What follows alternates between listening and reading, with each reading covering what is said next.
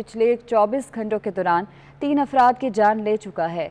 कौमी दार सेहत के मुताबिक मजीद 532 केस रिपोर्ट हुए हैं, जबकि मुल्क भर में एक मरीजों की हालत तशवीशनाक बताई जा रही है। कफ़ात अली शाह हमारे साथ मौजूद हैं, उनसे अदाद शुमार जान लेते हैं। जी कफ़ात बताइएगा।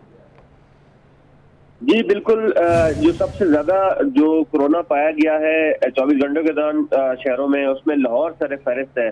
जहाँ पर जो है वो एक सौ पैंसठ अफराद में कोरोना के मरीजों की तस्दीक हुई है और जबकि जो कोरोना केसेस की शरह है, वो सात इशारिया चार सात फ़ीसद तक पहुँच गई है।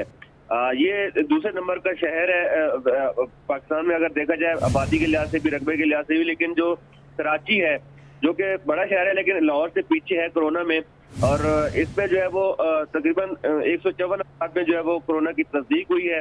और जो रेशियो है यहाँ पर कराची में वो एक इशारिया तीन फ़ीसद तक पहुँचा हुआ है। तो लिहाजा दूसरे शहरों की अगर बात की जाए, फैसलाबाद की, जहाँ पे छह इशारिया आठ फ़ीसद कोरोना शरह रही है सवारी में छह इशारिया तीन फ़ीसद एबटाबाद में पाँच इशारिया दो तीन फ़ीसद कोरोना की शरह रही है। जबकि जो दारुलकूमत इस्लामाबाद है, जहाँ पर गुजशत चौबीस घंटों के दौरान एक हज़ार एक सौ इकतीस टेस्ट किए गए थे और इसमें सैंतालीस अफराद में कोरोना की तस्दीक हुई है, जबकि जो शरह है, वो चौबीस घंटों के दौरान वो चार शारिया एक फ़ीसद रही है कोरोना के मस्बत केसेस की।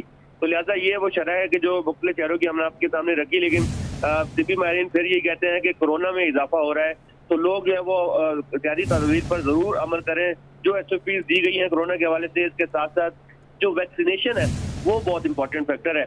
आ, उस सूरत में जो है वो अगर लोग वैक्सीन कराएँगे तो इस पर जो है वो न सिर्फ़ काबू पाया जा सकेगा बल्कि इसकी शिदत को कम भी किया जा सकेगा। लिहाजा लोग जो है वो हर सूरत में वैक्सीन लाजमी लगवाएँ।